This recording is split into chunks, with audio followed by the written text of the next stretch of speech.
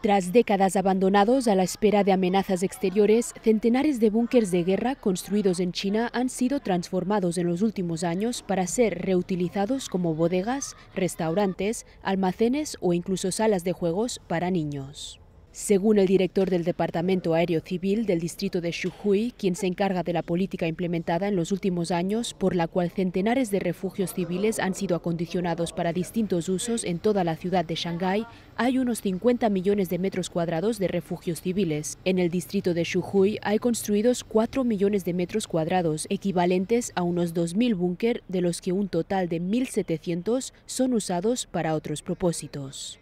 Uno de esos lugares es Tea Cellar, un establecimiento dedicado a la exhibición y cata de vinos regentado por Li Tian, donde encontró en este antiguo agujero el lugar perfecto para realizar su sueño y quien tras estudiar en España decidió regresar a Shanghái para hacer de su pasión, el vino, su profesión. La mayoría de estos búnker fueron construidos en China durante los años 60 y 70 y no habían sido utilizados hasta que se llevó a cabo esta política. Tea Cellar, por ejemplo, que fue construido en 1973, está ahora perfectamente acondicionado para conservar distintas botellas y dispone de varias salas donde los clientes pueden disfrutarlas o donde las marcas que buscan mercado en China pueden hacer sus catas.